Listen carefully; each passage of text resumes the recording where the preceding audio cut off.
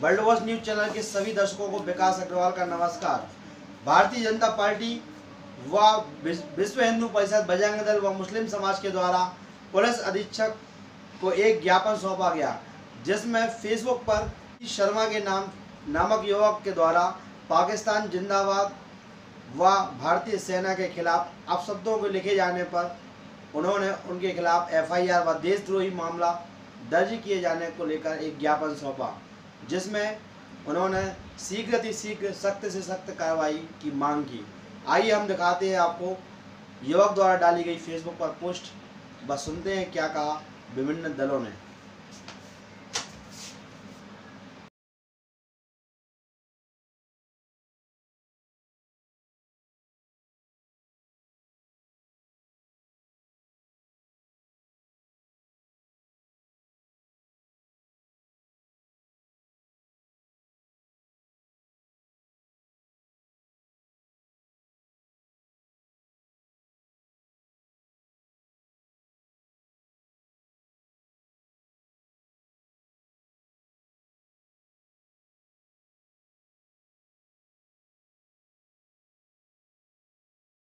वंदे मातरम। मातरम मातरम। वंदे मातरम। हिंदुस्तान में रहना होगा। वंदे मातरम कहना होगा। यदि हिंदुस्तान में रहना होगा। वंदे मातरम कहना होगा। यदि यदि भारत में रहना होगा। वंदे मातरम कहना होगा। भारत के गद्दारों को जूते मारो सालों को देश के गद्दारों को जूते मारो सालों को देश के गद्दारों को भारत आगे करने वाला को जैसे कि आप सभी को जानकारी में है कि आज एक बाबू शर्मा नाम के व्यक्ति ने सोशल मीडिया पे कुछ पोस्टें डाली हैं, जो भारत विरोधी हैं, एवं हमारे संगठन के विरोध में भी लिखी है पुलिस प्रशासन के विरोध में भी लिखी है। तो आज हम लोग पुलिस अधीक्षक महोदय से मिलने आए थे और उनसे स्पष्ट ना कोई ज्ञापन और ना ही कोई लिखा पढ़ी करने कि भाई कब तक लिखा पढ़ी करोगे आप और कब तक ज्ञापन लोगे।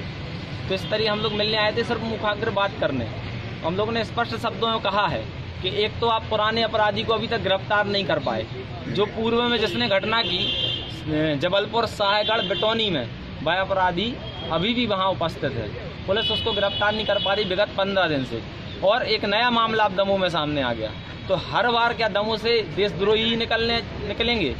और जो भी व्यक्ति इस मामले में लिप्त है। उसके ऊपर कठोर कार्रवाई हो, तुरंत उसको जेल भेजा जाए, वरना विश्व हिंदू परिषद, बजरंग दल एवं सामाजिक संगठन अपने स्तर से जो भी आंदोलन लगेगा, वो करेंगे।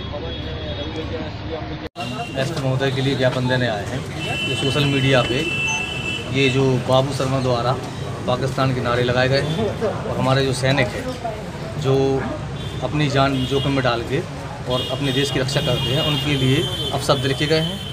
और अपने देश के माननीय जो प्रधानमंत्री उनके लिए भी कुछ उनने गलत तरीके से बया किए सोशल मीडिया के द्वारा। तो आज हम ये चाहते हैं कि बाबू शर्मा नामक और उसके साथ दो फ़ोटो और उसके साथ अपलोड हुए हैं फेसबुक पे, उनके प्रति कड़ी से कड़ी कार्रवाई की जाए और आज हम सब इसी के लिए माननीय जी को ज्ञापन देने आए हैं कि हसनी हुसैन सोसाइटी की तरफ़ से ये एक विज्ञापन है के तौर पर यही चाहते हैं, एक मांग की मांग की रहे हैं कि कार्रवाई कड़ी से कड़ी कार्रवाई इसके एक सप्ताह पहले एक कसाई मंडी के एक लड़के ने भी पोस्ट की थी।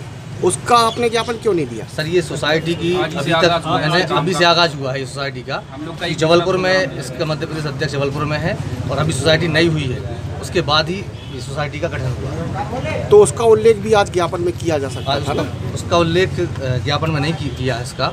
हाँ आगे जाके जो प्रतिक्रिया होंगी उसके लिए उसके लिए ये समाज ये समाज सेवी संगठन है। ना कि कोई व्यक्तिगत समाज का ना कोई कौन का सब जो भी गलतियाँ करेंगे और जो भी अगर देश के बारे में गलत बोलते हैं, वो हम हम लोग की नज़रों में, हमारी सोसाइटी नज़रों में अपराधी